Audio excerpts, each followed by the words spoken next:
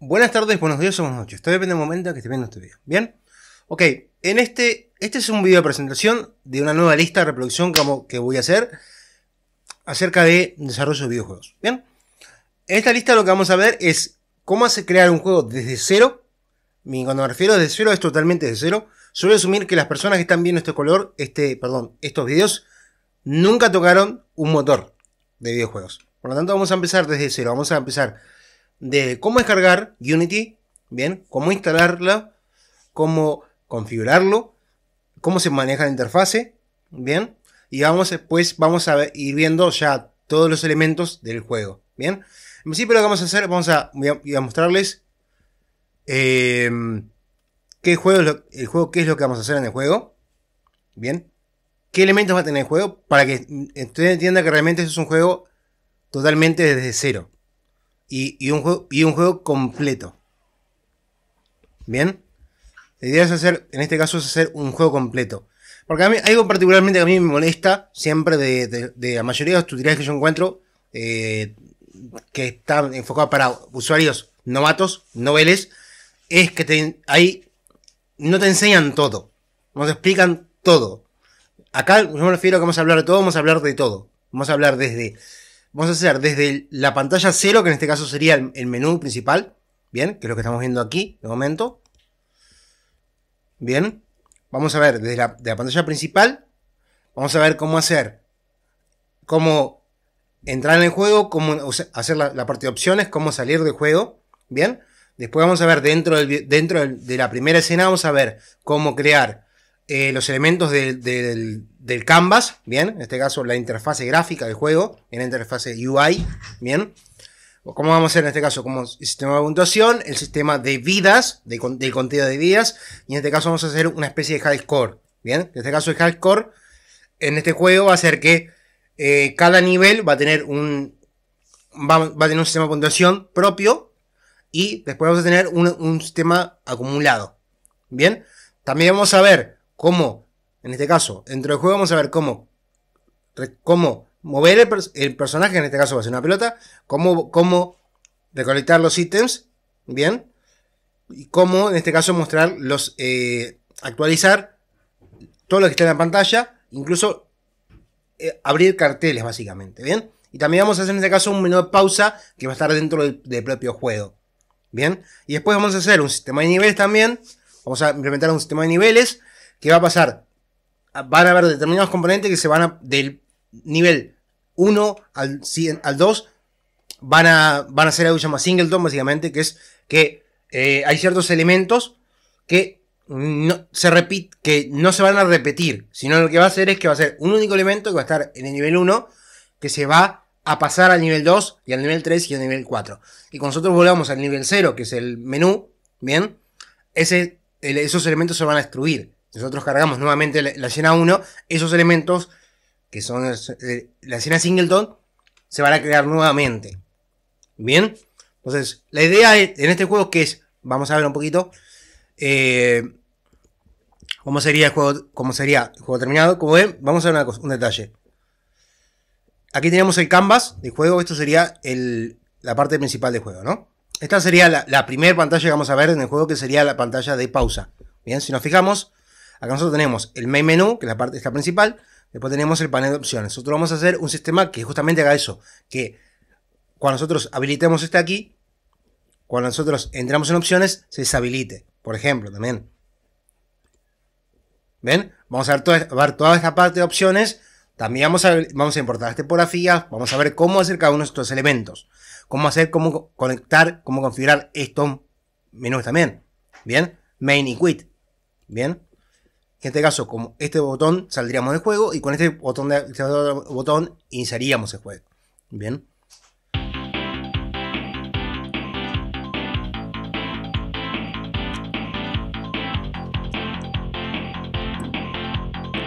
Como vemos el juego tiene una animación al principio que nos muestra el, escenario completo y después nos, enfoca en, el personaje. Acá tenemos el, el menú de pausa, como ven el menú de pausa podemos controlar el volumen de los efectos y en este caso el volumen de la música de fondo. podemos habilitar o deshabilitar los efectos procesados. Por ejemplo, ¿ven? ¿Ven? Así se vería sin efecto procesado. Así se vería con procesado. Como ven, se veía un poquito mejor, ¿no? Vamos a dejar sin procesado. Igualmente ahora está la, la calidad gráfica está en el mínimo realmente. Bien. Igual este juego está en mi, en mi canal ya está el gameplay de cómo se ve final, la, versión final Aquí estamos viendo únicamente en dentro del motor. Estamos corriendo dentro del motor. Entonces, como ven, como yo digo, acá tenemos un, controlador de personaje, que es la pelota, un camera follow, que es una, cámara que sigue al personaje. Acá tenemos ítems de diferentes valores. Bien. Aquí como vemos, están, en consolas se están mostrando algún tipo de bugs también. Estamos estudiando algunas cosas. Ahí tenemos el sistema de niveles. Y como ven, aquí ahora tenemos en este de aquí, en el trofeo, es el puntaje acumulado. Bien. Cuando yo pase el nivel, cuando termine este nivel, este segundo nivel, se va a sumar lo que ganamos en este nivel, se va a sumar al total ganado. Y como ven, cuando nosotros nos caemos de la plataforma, cuando nosotros nos caemos de la plataforma, el personaje muere. Bien. Quizás en, más adelante vamos a implementar algunos elementos que, en este caso, que cuando choque con algunos elementos también podemos perder vida, por ejemplo. Bien.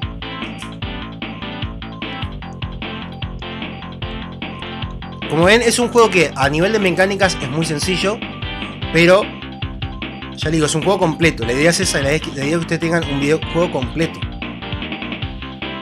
Bien. Como ven, es una, especie de, juego de laberinto. Bien, nosotros vamos recolectando ítems.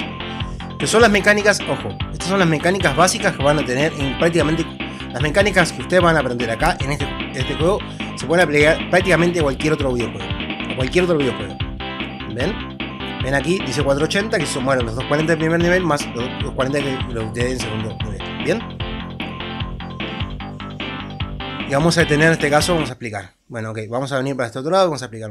Vamos a ir cerrando el vídeo. Bien, la idea es eso, la idea es que ustedes aprendan desde cero. Y cuando me refiero desde cero es que me voy a ir parando cada punto por punto. En mi caso, mi área de, especialidad, de especialización, es la parte de scripting. Por lo tanto, los scripts los voy a explicar línea por línea. Bien, si nosotros hacemos un script que va a tener 10 líneas, yo les voy a explicar cómo funciona cada línea. Para que ustedes, si se equivocan, puedan entender por qué se equivocaron. Bien, y a futuro ustedes puedan hacer sus propias mejoras sobre ese código. Bien. Yo le voy a explicar línea por línea cómo funciona cada componente del código. O cada, cada, palabra del código, yo se le, voy a explicar cómo funciona. También vamos a ver, en este caso, vamos a ver cómo importar ítems, perdón, cómo importar modelos 3D, cómo importar texturas, cómo crear prefabs, bien, cómo usar prefabricados, bien, cómo vamos a implementar el control del personaje, cómo vamos a el movimiento de la, cámara, que es el camera follow, eh, vamos a implementar el Game Manager, que es el que controla todo el juego, ¿bien?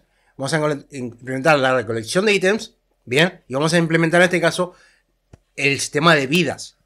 O sea, el personaje va a morir cuando, cuando se cae la plataforma, ¿bien? Y también vamos a implementar en este caso, vamos a implementar todo eso todo eso es la parte de menú que vimos, que era el menú principal, el menú de opciones y el menú de pausa. ¿Bien?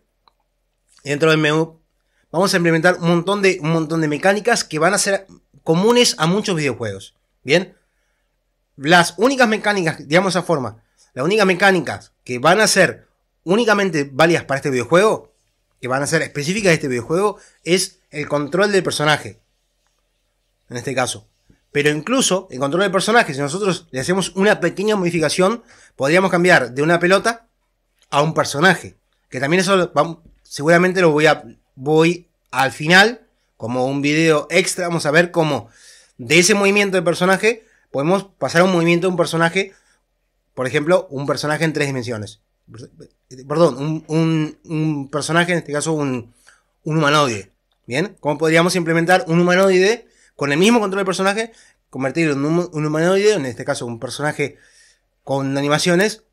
Bien, para que ustedes entiendan que este tipo, todas, todas las mecánicas todas las mecánicas que nosotros vamos a implementar para un juego de recolección de ítems, básicamente, un coin collector, se pueden aplicar después en cualquier otro juego. en cualquier otro juego que ustedes quieran. Porque el sistema de vidas va a estar en cualquier juego. El sistema de recolección de ítems va a estar en cualquier juego. El sistema de, de saltar de menú, en este caso, el, sistema de niveles de, de, mm, el sistema de niveles que nosotros vamos a implementar lo podríamos implementar en cualquier otro videojuego. Ustedes lo, único que van a tener que ah, van a tener que cambiar de este juego cuando hagan, quieran hacer otra cosa es, van a tener que cambiar las mecánicas básicas, en este caso, que sería el movimiento del personaje y van a tener que agregar más mecánicas. Pero todas las mecánicas que yo les voy a explicar en esta serie de videos van a ser, van a ser mecánicas que se van a utilizar en cualquier videojuego. Bien, incluso mi idea es incluso sería, después de que teníamos esta, esta serie de tutoriales, agregar videos extras donde vamos incluso vamos a intentar con tocando el menos el menor código posible, o sea, tocando lo mínimo posible este juego, implementar otro tipo de juegos.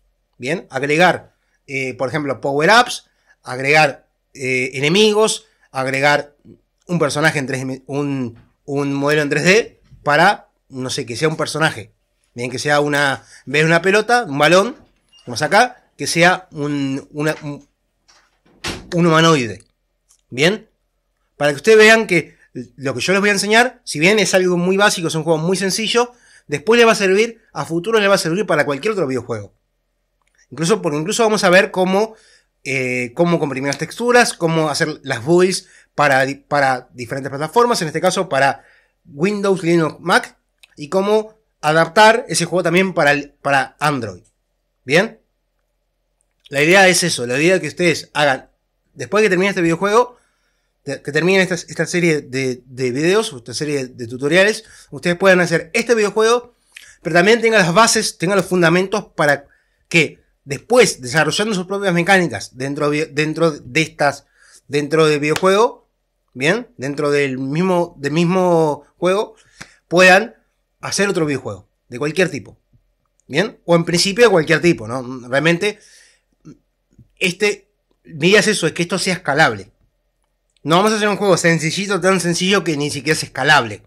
Bien, por lo general, cuando se aprenden este tipo de cosas es, hacemos un único script que controla todo. Y después, cuando, nosotros, cuando tú quieres hacer un juego diferente, no podés. Porque eso no es escalable. Entonces yo voy a, voy a explicar todo esto, lo voy a explicar todo punto por punto. Por eso es que yo voy a asumir que ustedes no tienen, no tienen ningún conocimiento, cero conocimiento. Bien, les voy a explicar todo hasta, hasta llegar a que el juego está terminado. Hasta vamos a hacer la build y vamos a publicarlo también. Mira, también como contenido extra vamos a ver cómo utilizar Collaborate de Unity y cómo utilizar GitHub para tener un repositorio, en este caso, con nuestro código. Bien, y en este caso, cómo publicar las builds, en, este caso, en em, GitHub también, ¿no? Y bueno, a ver si nos vemos en la próxima. Hasta luego, hasta luego.